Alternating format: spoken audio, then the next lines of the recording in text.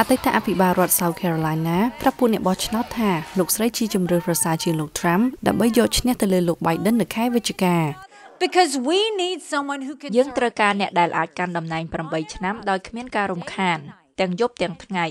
ដោយផ្ដោតលើការរកដំណោះស្រាយជូនពលរដ្ឋអាមេរិកាំងនៅក្នុងក្រុងជាប់ឆ្នេរមួយនេះពួកអ្នកបោះឆ្នោតថាពួកគេបារម្ភពីការគ្រប់គ្រងព្រំដែនហើយលោកស្រី Haley ជាជំរឿនល្អបំផុត She understands our um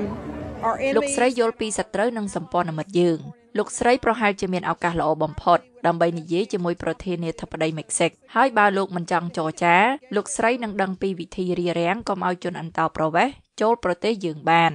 លោកស្រី Haley ដែលជាឯកអគ្គរដ្ឋទូតប្រចាំអង្គការសហប្រជាជាតិរបស់លោក Trump ថា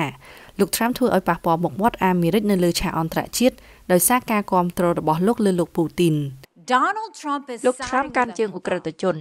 មនុស្សកន្លះលាននាក់បានស្លាប់និងរបួសដោយសារលោកពូទីនឈ្លានពានអ៊ុយក្រែនលោក Trump កាន់ជើងជនផ្ដាច់ការដែលសម្លាប់គូប្រជែងនយោបាយលោក Trump កាន់ជើងជនផ្ដាច់ការដែលចាប់ខ្លួនអ្នកកាសែតអាមេរិកាំងជាចំណាប់ខ្មាំង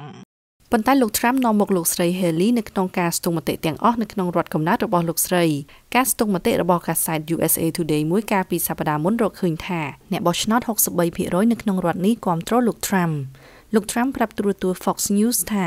លោកគិតដល់ជំរឿអនុប្រធានាធិបតីរបស់លោកទៅហើយ if something should happen បើមានអ្វីកើតឡើងអ្នកត្រូវមានអ្នកដែលអាចធ្វើជាប្រធានាធិបតីដ៏ល្អអ្នកបោះឆ្នោតនៅរដ្ឋ South Carolina មួយចំនួនថាបទពិសោធន៍លោក Trump នៅក្នុងសេដ្ឋវិមានធ្វើឲ្យលោកជាជំរឿសល្អជាង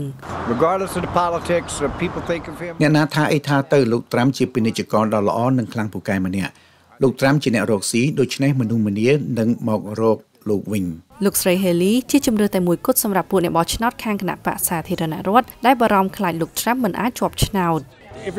ម្នាក់ម្នាក់គិតថាលោកនឹងនាំមកនៅការផ្លាស់ប្ដូរប៉ុន្តែលោកធ្លាប់មានឱកាសម្ដងហើយហើយលោកមិនបានធ្វើឲ្យមានការផ្លាស់ប្ដូរទេតែបែរជានាំទុកថែមទៅវិញលោកស្រី Haley ថាលោកស្រីនឹងបន្តឈរឈ្មោះដល់ការបោះឆ្នោត Super Tuesday នៅខែមីនាដែលរដ្ឋចំនួន15នឹងបោះឆ្នោតជ្រើសរើសបេក្ខជនសម្រាប់គណៈបកសាធារណរដ្ឋ